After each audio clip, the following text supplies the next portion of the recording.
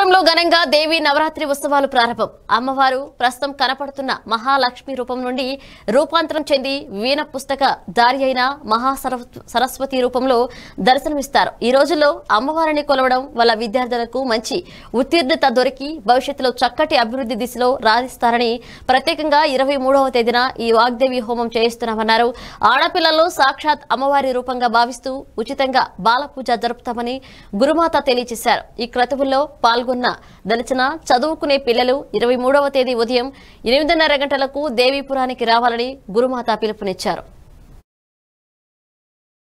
శ్రీమతి రమా గారిని కందర్ ప్రమ గారిని అడిగి తెలుసుకుందాం. అమ్మా నమస్కారం. శ్రీమాత్రే నమ.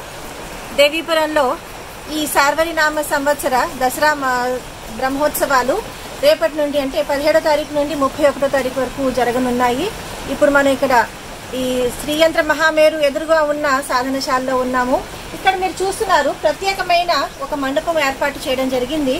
ఈ మండపం తాలూకు విశిష్టత ఏమంటే ఇది మనం చేసుకునేది మహాకాళి మహాలక్ష్మి మహాసరస్వతి సమిష్టి స్వరూపమైన శ్రీ చండీ పరదేవతకి శ్రీ లలితా పరాభట్టారికాంబకి మనం చేస్తున్నాం కాబట్టి ఈ దసరా బ్రహ్మోత్సవాలు ఇందులో మీరు చూస్తున్నారు ఇక్కడ ఒక అష్టభుజి ఉన్నది తర్వాత షట్కోణం ఉన్నది.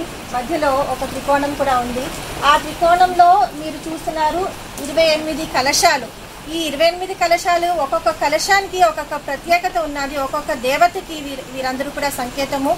రేపు ఉదయము ఏడున్నరకి గోపూజతో ప్రారంభం చేసి ఈ కలశ స్థాపన అంతా కూడా చాలా ఎలాబరేట్ ప్రాసెస్ ఇది. చాలా స్క్రిప్చర్స్లో అంటే మన పురాణాల్లో కూడా మెన్షన్ చేసినట్టు ఆ రకంగా ఈ శాక్తయ్య పద్ధతిగా ప్రకా ఈ ప్రకారంగా మేము ఇక్కడ చేయబోతున్నాము రేపు ఉదయము. ఇక్కడ మీరు చూస్తే కనుక పెద్ద కలశాలు మీరు చూస్తున్నారు సెంటర్లోని మహాకాళి మహాలక్ష్మి మహాసరస్వతి. ఈ రకంగా ఈ కలశ స్థాపన తర్వాత రోజు కూడా ఇక్కడ శ్రీయంత్ర మహామేరు ఆలయంలోని ఫస్ట్ ఫ్లోర్లోని అమ్మవారికి క్షీరాభిషేకం ఉంటుంది కుంకుమ పూజ ఉంటుంది. ప్రతిరోజు కూడా అమ్మవారి నూట ఎనిమిది నామాలతోటి కుంకుమ పూజ చేసుకోవచ్చును. ప్రజలు స్వయంగా వచ్చి అమ్మవారికి క్షీరాభిషేకం చేసుకోవచ్చును. అదే విధంగా హోమం అన్నది డైలీ ఉంటుంది ఇక్కడ. రోజు ఒక్కొక్క హోమం ఉంటుంది. అమ్మవారిని సహస్రాక్షి రాజరాజేశ్వరి అమ్మవారిని వివిధ రూపాల్లో అలంకారం చేయడం జరుగుతుంది.